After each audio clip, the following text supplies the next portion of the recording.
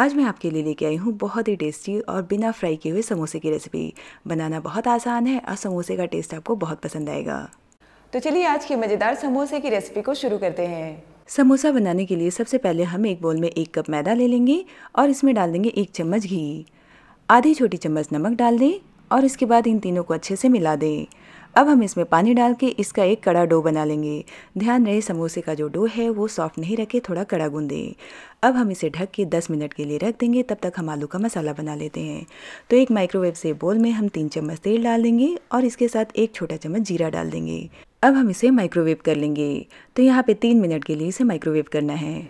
आज के इस समोसे को हम L G charcoal healthy oven में बेक करेंगे। इसमें है चारकोल लाइटनिंग हीटर टेक्नोलॉजी इसमें 30 रेसिपीज़ का healthy heart auto cook menu है और ये प्रोडक्ट मेड इन इंडिया है।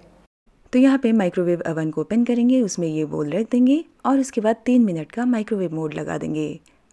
जैसे ही टाइमर ख़त्म होगा, हम माइक्रोवेव को ओपन करेंगे और उसके बाद ये बोल जो है वो माइक्रोवेव से निकाल देंगे। अब हम इसमें डाल देंगे आलू। तो दो उबले हुए आलू को मैश करके इसमें डाल दें और इसके साथ हम इसमें डाल देंगे एक छोटा चम्मच अदरक और हरी मिर्च का पेस्ट इसके बाद हम इसमें स्वाद के अनुसार नमक डाल देंगे, डेढ़ छोटे चम्मच आमचूर का पाउडर डाल देंगे, एक छोटा चम्मच लाल मिर्च का पाउडर और इसके साथ हम आधा कप उबला हुआ हरा मटर डाल देंगे। धनिया पत्ता डाल दें और इसके बाद हम इन सबको अच्छे से मिला देंगे। तो ये हमारा आलू का मसाला जो है वो रेडी हो गया है, लेकिन अभी हमें इसे पकाना है। तो हम इसे माइक्रोवेव अवन में तीन मिनट का टाइमर लगा के पका लेंगे। तो यहाँ पे मैंने इसे माइक्रोवेव में तीन मिनट का टाइमर लगा दिया है। टाइमर ख़त्म होते ही हम इसे निकाल लेंगे और इस मसाले को हम ठंडा कर लेंगे। तो ये हमारा आलू का मसाला जो है वो बन गया है। अब हम इसे ठंडा हो जाने देंगे, उसके बाद समोसे के अंदर स्टफ़ करेंगे। मसाला अगर गर्म रहे तो कभी भी आप स्टफ़ नहीं करें। तो जब तक ये ठंडा हो रहा है ना, तब तक हम समोसे की शीट बना लेते हैं। तो ये हमारा डो जो है वो अच्छे से सेट हो गया है। तो अब हम इसकी मीडियम साइज़ की लोई बना लेंगे और उसके बाद इसे रोल कर लेंगे। तो यहाँ पे लोई आपको इतनी बड़ी रखनी है। सूखा मैदा लगा के हम इसे रोल कर लेंगे। आप इसे ओवल शेप में रोल करें। ताकि जब हम इसे कट करें ना तो इसका शेप अच्छा है तो यहाँ पे मैंने इसे रोल कर लिया है। रोल करने के बाद क्या करेंगे कि इसे सेंटर से हम कट कर लेंगे। ये देखिए, ऐसा रोल करें आप। तब हम इसे ऐसे नाइफ से कट कर लेंगे दो हिस्सों में। और उसके बाद एक साइड का हिस्सा ऐसे लेके आपको इसे ऐसे फोल्ड करना है। ये देखिए, एक साइड ले थोड़ा सा पानी लगाएँ और दूसरा साइड उसके ऊपर चिपका दें। तो ये हमारा समोसे का कोन जो है वो बन के तैयार है। अब हम इसके सेंटर में जो स्टफिंग हमने बना के रखी है वो रख देंगे। ये देखिए।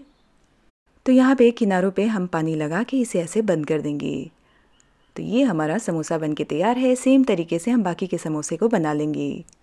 अब हम इस समोसे के ऊपर थोड़ा सा तेल लगा देंगे। तो यहाँ पे ब्रशिंग कर दी मैंने। तो अब हम इसे बेक कर लेंगे। तो बेक करने के लिए सबसे पहले क्या करेंगे ना कि जो बेकिंग ट्रे है, उसे ऑयल से ग्रीस करके और माइक्रोवेव अवन में रख के प्रीहीट कर लेंगे। तो यहाँ पे लोअर रैक रख दें, उसके बाद ये बेकिंग ट्रे रख दें। और उसके बाद समोसा बेक करने का जो रेसिपी मैनुअल में प्रोसेस है, वो मोड सेलेक्ट करके हम पहले इसे प्रीहीट कर लेंगे। जैसे ये प्रीहीट हो जाएगा, हम ये बेकिंग ट्रे को निकालेंगे और इसके ऊपर ये समोसा रख देंगे। अब हम इसे वापस माइक्रोवेव अवन में रख देंगे और उसके बाद इसे बेक कर लेंगे। तो यहाँ पे इसे बंद करके स्टार्ट का बटन प्रेस कर दें। जैसे ही ये एक बार बीप करेगा, हम इसे खोलेंगे और उसके बाद समोसे को पलट के और इसे हाई रैक पे रख देंगे। तो यहाँ पे थोड़ा सा ऑयल लगा दें। अब हम लोअर रैक हटा के हायर रैक रख देंगे और उसके बाद ये ट्रे रख देंगे।